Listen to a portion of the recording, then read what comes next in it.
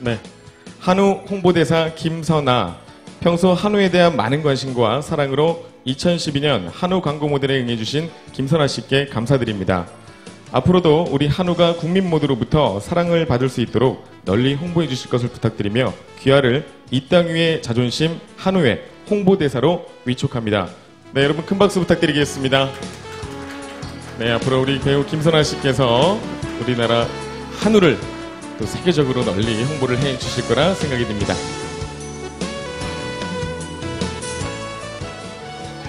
네, 잠시 후에 그 포토타임은 따로도 갖는 시간을 갖고요. 또 한우를 전달하도록 하겠습니다. 여러분 박수 부탁드리겠습니다.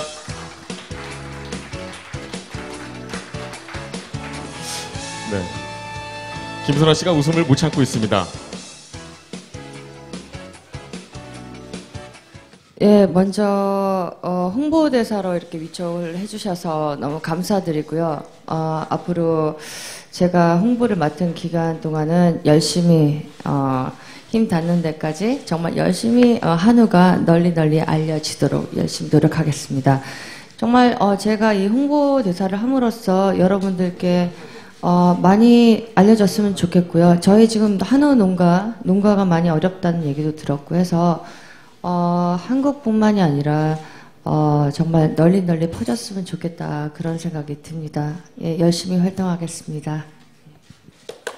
네, 박수 부탁드리겠습니다. 자, 계속해서 매력이야 워낙에 철철 넘쳐가지고 나 또 내 입으로 얘기하기 뭐 한데 좀 음, 한우처럼 좀 뭐라 그러지 친근하고 좀 소탈하고 어 글쎄 꾸밈 없는 그런 느낌이지 않을까 예, 그런 느낌에서 오는 비슷함이 아닐까라는 생각이 들어요. 예. 한우는 거짓말하진 않잖아요. 예. 저도 거짓말하기 싫어해서 아닌가요? 네, 고맙습니다. 그러면 어, 한우 홍보대사로 위촉이 되신 다시 한번 김선아 씨께 다시 한번 큰 박수를 부탁드리며 앞으로 감사합니다. 더욱더 멋진 한우를 홍보해 주시기 바라겠습니다. 많이 사랑해 주세요. 감사합니다. 네, 자 오늘 머리도 또 이제 한우 색깔로 고 오셨어요. 고맙습니다.